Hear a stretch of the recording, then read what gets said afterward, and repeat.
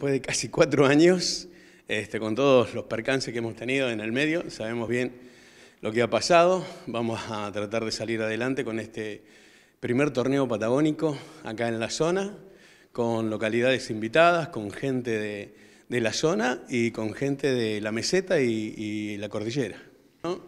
Karate no, no es un estilo solo. Karate es la conjunción de todos los estilos primarios que nacieron desde Okinawa e hicieron que sea posible el maravilloso mundo del Karate Do. Bien, lo vamos a hacer en el gimnasio de la Escuela 196 del barrio Luz y Fuerza. Tiene un gimnasio muy, muy, muy lindo, muy apropiado para, para la ocasión.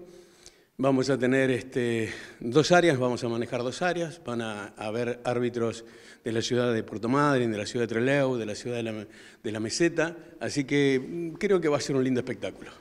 Eh, cada instructor, cada dojo le pueda mostrar a sus papás eh, cómo está trabajando su hijo, eh, cuáles fueron sus avances, qué tipo de aprendizaje tienen y sobre todo la camaradería, la camaradería que hay entre todos los institutos, entre todos los dojos, que es lo más importante de todo. Karate es una gran energía que une a todo el mundo. Cerramos inscripciones, todo. Tenemos una categoría de 4 a 6 años que son 101 chicos.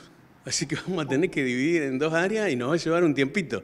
Pero bueno, eh, también por tanto tiempo que no hemos tenido eh, actividad, creo que esto amerita que, se tenga un poquito más de paciencia. Están invitados todos los padres, los familiares.